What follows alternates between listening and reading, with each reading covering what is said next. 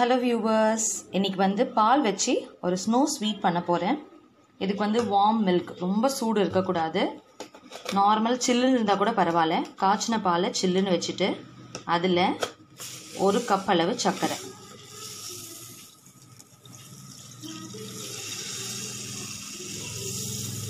சர்க்கரை. ரெண்டு கரண்டி கார்ன்ஃப்ளவர் மாவு. சில்லுன்னு இருக்கும்போதே கார்ன்ஃப்ளவர் மாவு போடுங்க.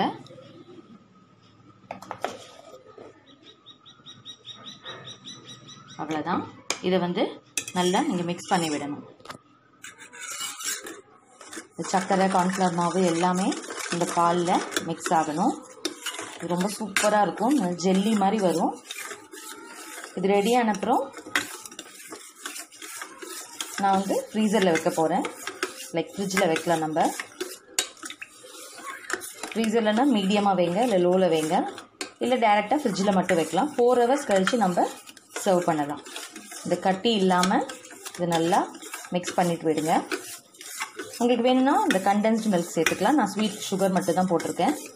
ஃப்ளேவருக்கு வந்து நான் வெனிலா எசன்ஸ் விட போகிறேன் இல்லைன்னா ஏலக்காய் பவுடர் இருந்ததுன்னா அதை விடலாம். அது பாருங்கள் நல்லா மிக்ஸ் பண்ணிட்டேன். இதில் கொஞ்சமாக நான் வெனிலா எசன்ஸ் விட போகிறேன்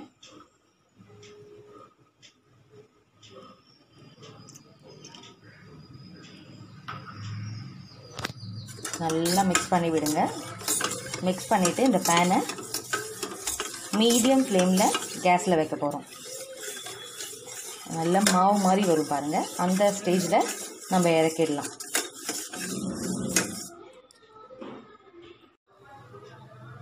இப்போ நான் கேஸில் வச்சுருக்கேன். நல்லா கைவிடாமல் ஸ்டெர் பண்ணிகிட்டே இருங்க.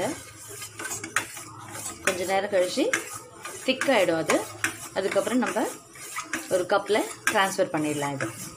அதுக்கப்புறம் ஃப்ரிட்ஜில் வச்சிடலாம்.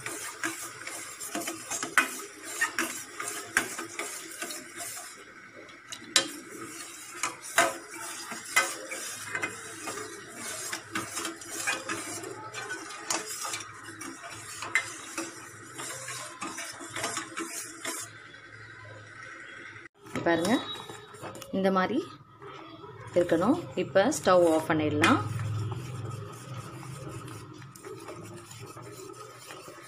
நான் வெனிலா எசன்ஸ் போட்டிருக்கேன். உங்களுக்கு வேறு ஃப்ளேவர்ஸ் ஏதாவது வேணும்னா நீங்கள் ஆட் பண்ணிக்கோங்க. நான் கலர் எதுவும் ஆட் பண்ணல. ஏன்னா ஸ்னோ ஸ்வீட் இருக்கிறதால நான் ஒயிட் கலர் சூஸ் பண்ணியிருக்கேன் நல்லா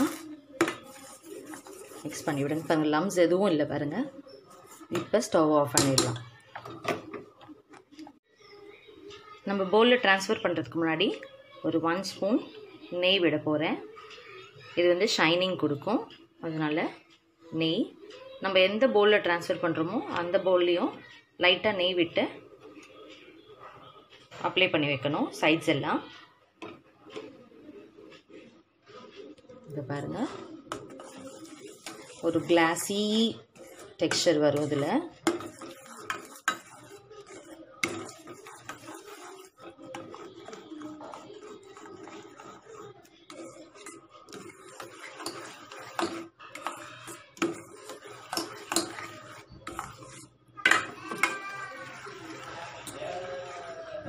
நல்லா மிக்ஸ் பண்ணிவிட்டேன் இங்கே பாருங்கள் நான் ஒரு பவுலில் ட்ரான்ஸ்ஃபர் பண்ணிவிட்டேன் இது வந்து ஏர் பபிள்ஸ் இல்லாமல் நல்லா தட்டிட்டு நான் க்ளோஸ் பண்ணிவிட்டு கொஞ்சம் நேரம் கழித்து இந்த சூடாக இருக்குல்ல அதெல்லாம் ஆறுனப்புறம் ஃப்ரிட்ஜில் வைக்கலாம்.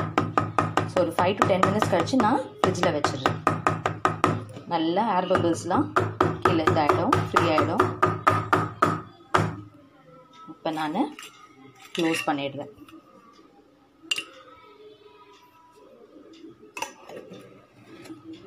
இது ஒரு டென் மினிட்ஸ் கழித்து நான் ஃப்ரிட்ஜில் வைக்க போகிறேன் அதுக்கப்புறம் நம்ம சர்வ் பண்ணலாம்.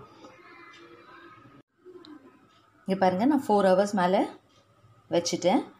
ஸோ இப்போ லைட்டாக இந்த சைட்ஸை வந்து ஸ்பூன் இல்லைன்னா நைஃபால் ரிலீஸ் பண்ணி விடுங்க. அப்போ தான் ஜெல்லி மாதிரி வரும்.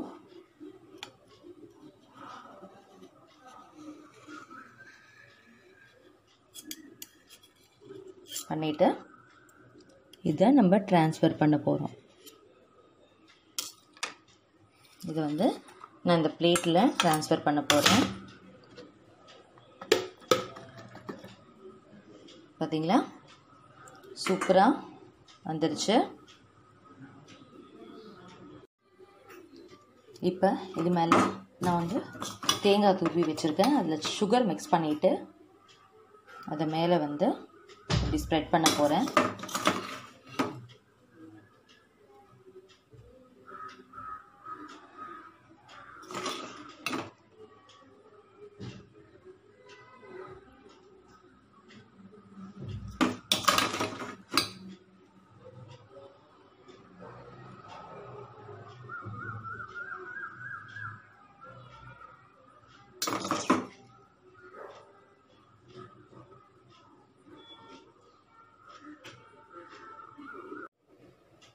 இப்போ கோகனட் ஸ்ப்ரெட் பண்ணியாச்சு. நெக்ஸ்ட்டு நான் பாதாம் வைக்க போகிறேன் கார்னிஷிங்க்கு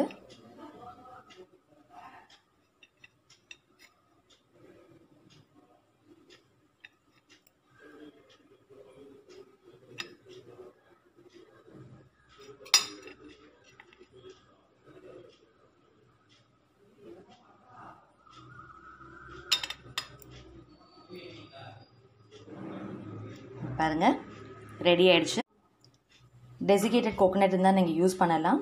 நான் வந்து துருவுன தேங்காய் தான் யூஸ் பண்ணியிருக்கேன்.